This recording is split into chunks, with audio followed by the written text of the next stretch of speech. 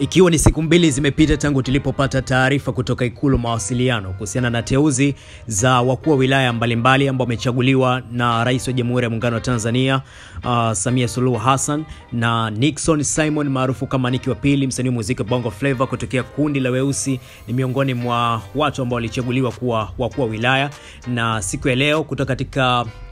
ofisi ya mkuu mkoa wa Pwani Abubakari Kunenge amemwapisha Nixon Simon ambaye tunamtambua kama Niki wa Pili katika muziki wa Bongo Flava kuwa mkuu wa wilaya ya Kisarawe akichukua nafasi ya Joketi Mwegelo ambaye ameteuliwa kuwa mkuu wa wilaya ya Temeke. Zoezi la kuapishwa limefanyika katika ofisi ya mkuu wa mkoa wa Pwani ambayo ipo Kibaa na wasanii mbalimbali kutoka kundi pia wakiwemo kutoka kundi la hip hop la Weusi akiwemo Joe Makini, lodis Jinako na Gentries miongoni mwa wasanii waliofika kwenye ofisi ya RC Pwani iliyopo okeba kushuhudia zoezi la uhapisho wa madisi wa wilaya zilizopo mkoani Pwani akiwemo msanii mwenzao Niki wa Pili ambaye kwa sasa hivi tunamtambua kama DC wa Kisarawe.